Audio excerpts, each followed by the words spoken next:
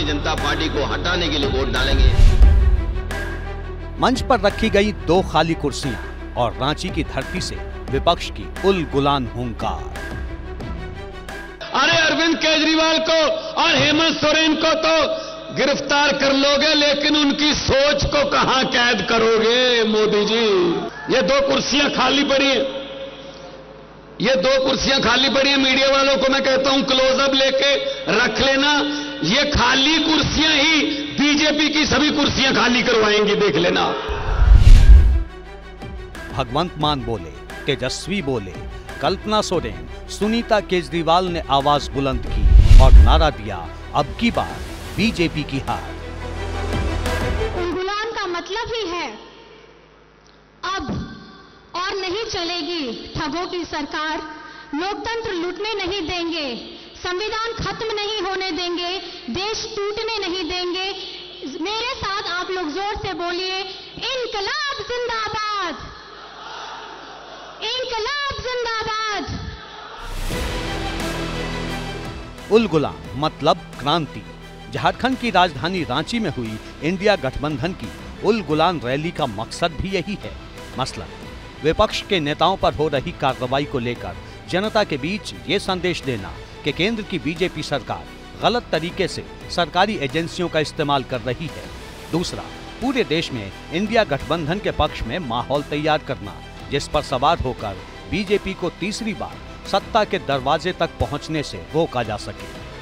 रांची की उल गुलान रैली में शामिल हुए तमाम नेताओं का सारा ज़ोर इन्हीं दो मुद्दों पर रहा।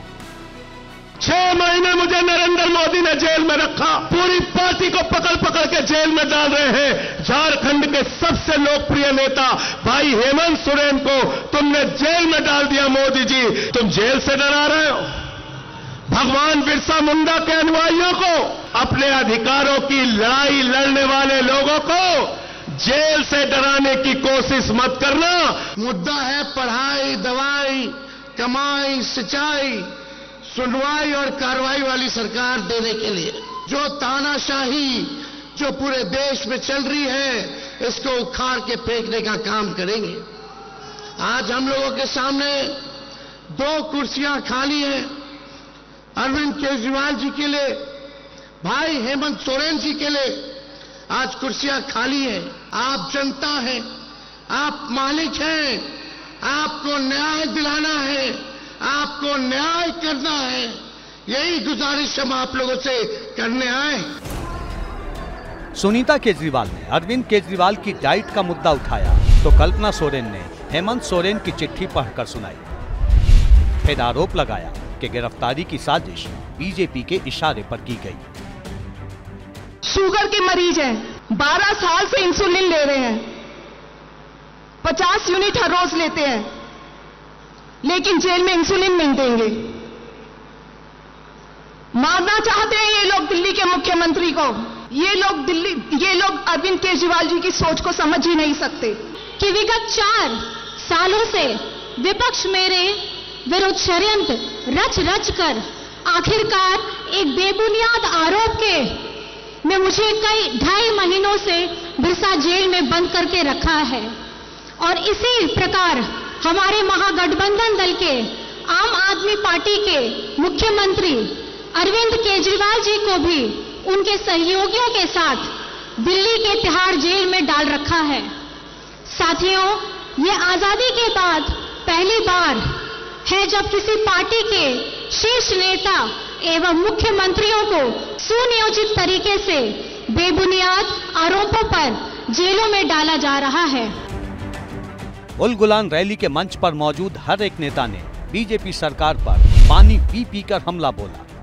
हालाँकि, रांची में हुई इंडिया गठबंधन की उल गुलान रैली में कांग्रेस का कोई बड़ा नेता शामिल नहीं हुआ, जबकि झारखंड में कांग्रेस के समर्थन से ही जेएमएम की सरकार चल रही है। महाराष्ट्र में इंडिया गठबंधन के सहयोगी उद्धव ठाकरे और शरद पवार भी रांची नहीं पहुँचे। शिवसेना उद्धव ठाकरे गुट से प्रियंका चतुर्वेदी ने शिरकत की, जिस पर गृह मंत्री अमित शाह ने बड़ा हमला किया। दावा है कि भले ही रांची में इंडिया गठबंधन के कई दल और नेता एक मंच पर दिखे लेकिन इंडिया की जनता विपक्षी गठबंधन के साथ नहीं है। यहाँ मौलाना साहब और कांग्रेस आमने सामने है। वहाँ कांग्रेस कम्युनिस्ट और टीएमसी आमने सामने है। केरल में कांग्रेस और कम्युनिस्ट आमने सामने तस्वीरें दिखाकर क्या होता है? सब एक दूसरे के खिलाफ लड़ रहे हैं। रांची में हुई उल गुलान रैली इंडिया गठबंधन का चौथा बड़ा सियासी कार्यक्रम है। इससे पहले मुंबई, पटना और दिल्ली में महागठबंधन की साझा रैली हो चुकी है, लेकिन उल गुलान रैली से कांग्रेस के वरिष्ठ नेताओं की दूरी ने विपक्षी एकता पर सवाल खड़े कर दिए हैं। इधर अखिलेश यादव ने उल गुलान रैली से बड़ा दावा किया। ये चुनाव हार चुके हैं। ये जो हार चुके लोग हैं, वो अन्याय पर उतर आए हैं। हमारे किसानों को इन्होंने भरोसा दिलाया था। कि सत्ता में आएँगे तो हम किसानों की आय दोगुनी कर देंगे। यहाँ हमारे आदिवासी भाई बहन बैठे हैं। यहाँ किसान भाई गाँव से चल करके आए हैं। ये जानते होंगे, जब से भारतीय जनता पार्टी की सरकार आई है, इनकी हालत और खराब हो गई है। झारखंड आदिवासी बहुल राज्य है। झारखंड की कई सीटों पर आदिवासी वोट निर्णायक हैं। इसके अलावा इंडिया गठबंधन को उम्मीद है। कि उल गुलान रैली ओडिशा, छत्तीसगढ़ और नॉर्थ ईस्ट की आदिवासी बहुल सीटों पर दिख सकता है। दूसरा, माना जा रहा है कि इंडिया गठबंधन के नेता अरविंद केजरीवाल और हेमंत सोरेन की गिरफ्तारी को मुद्दा इसलिए भी बना रहे हैं जिससे चुनाव में सहानुभूति की लहर पैदा की जा सके।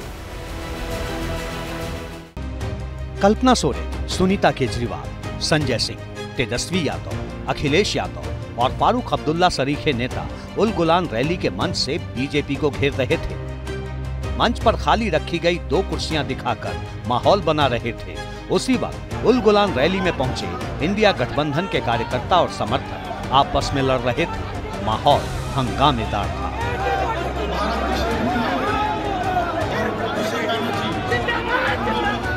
बताया जा रहा है कि रैली में खींचतान तेजस्वी यादव की आरजेडी और कांग्रेस कार्यकर्ताओं के बीच हुई। जो बाद में नारेबाजी और हंगामे से निकलकर कुर्सियाँ तोड़ने तक पहुँच गई।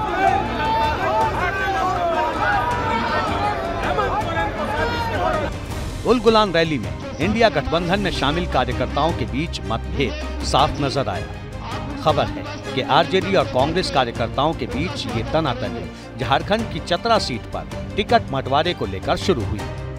झारखंड की चतरा सीट से कांग्रेस ने के त्रिपाठी को उम्मीदवार बनाया है, जिसका आरजेडी कार्यकर्ता विरोध कर रहे हैं। और विरोध की यही तस्वीर उलगुलान रैली में भी नज़र आई। हालाँकि मंच से तेजस्वी यादव ने बोलना शुरू किया तो उन्होंने गठबंधन के कार्यकर्ताओं को साथ मिलकर बीजेपी को हराने का संदेश दिया। उधर, रैली में हंगामे की तस्वीर आने के बाद बीजेपी इंडिया गठबंधन पर चुभने वाला बात कर रही है। रांची में इंडिया गठबंधन के पब्लिक मीटिंग में कांग्रेस में आरजेडी में कुर्सियाँ चली हैं, झगड़े हुए हैं, पिटाई हुई है, लोग घायल हुए हैं। तो हम लोग तो कहते थे कि स्वार्थ का गठबंधन है, चुनाव आगे बढ़ेगा,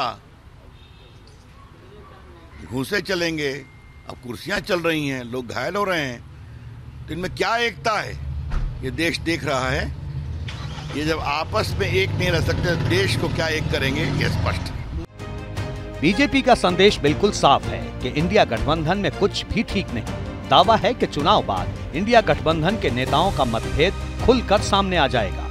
ये बात और है कि विपक्षी गठबंधन की गाड़ी को धक्का लगा रहे दलों को उम्मीद है कि जनता का समर्थन उनके साथ है। एक विश्वास अखिलेश यादव का भी है। लोकतंत्र में आवाज़ वोट में बदलने जा रही है और इस बार भारतीय जनता पार्टी का न केवल झारखंड, बिहार, यूपी के लोगों ने मन बना लिया है कि हमें संविधान की गारंटी चाहिए। हमें इनकी गारंटी नहीं चाहिए जो जुमले की तरह है। बीजेपी की गारंटी घंटी है। जिस तरह इन्होंने कोरोना और तमाम बार ताली थाली बजवाई, उसी तरह इनकी गारंटी घंटी है। उत्तर प्रदेश में अखिलेश यादव की समाजवादी पार्टी, इंडिया गठबंधन की बड़ी सहयोगी है। दिल्ली में आम आदमी पार्टी, बिहार में आरजेडी और झारखंड में जेएमएम, इंडिया गठबंधन के साथ है। उल गुलान रैली में इन सभी दलों के नेताओं ने एक साथ जीत की हुंकार भरी। मोदी जी, झूठ बोलने के फैक्ट्री है। केवल झूठ बोलने के फैक्ट्री नहीं, बल्कि मैन्युफैक्चरर भी है। मोदी जी इतना झूठ बोलते हैं कि गोबर को भी हलवा बना देते हैं। जो है लालटेन क्या चार्ज कर देगा मोबाइल को? ये बोले। बताइए क्या सोच है रे भाई? 400 पार का फ़िल्म दिखा रहे हैं। चुनाव हुआ फ़र्स्ट फ़ेज़ का पहले दिन ही मोदी जी का 400 वाला फ़िल्म देश की जनता ने सुपर फ्लॉप बना दिया। अब सवाल है कि क्या तमाम मतभेदों के बाद भी विपक्षी गठबंधन लोकसभा चुनाव में बेहतर प्रदर्शन कर पाएगा? विपक्ष जम्मू कश्मीर से केरल तक बीजेपी के लिए चुनौती खड़ी कर पाएगा? क्योंकि इंडिया गठबंधन में शामिल अलग अलग पार्टियों के नेता भले ही एक साथ मंच शेयर कर रहे हैं, एक दूसरे का समर्थन और जीत का दावा कर रहे हैं, लेकिन ज़मीन पर मतभेद बने हुए हैं।